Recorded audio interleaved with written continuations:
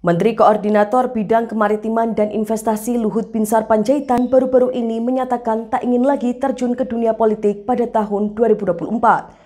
Hal ini dikatakannya saat ditanya kemungkinan menjadi calon wakil presiden mendampingi Anies Baswedan pada Pilpres 2024 mendatang.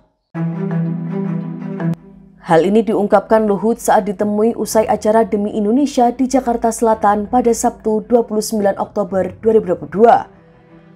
Adapun sebagai informasi, isu Luhut menjadi cawapres untuk Anies Baswedan sebelumnya disampaikan oleh Ketua DPP Partai Nasdem Ahmad Ali.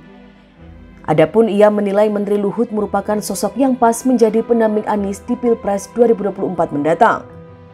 Menurut Ali, Luhut merupakan sosok yang memiliki kemampuan, karakter, serta jejaring yang kuat untuk mendukung keterpilihan Anies di masa depan.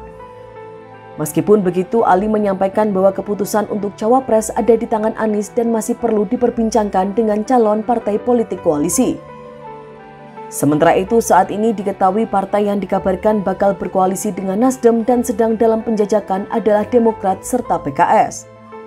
Sementara itu, Anies Baswedan mematok tiga kriteria bagi calon pendampingnya sebelum melenggang bersama dalam Pilpres 2024 mendatang. Menurut ia, cawapresnya mesti bisa memberikan kontribusi dalam pemenangan, memperkuat stabilitas koalisi, dan membantu jalannya pemerintahan.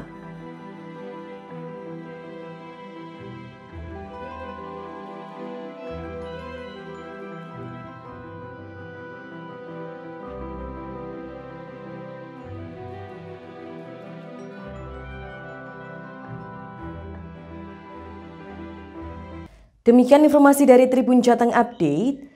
Saksikan terus Tribun Jateng Update hanya di channel YouTube Tribun Jateng.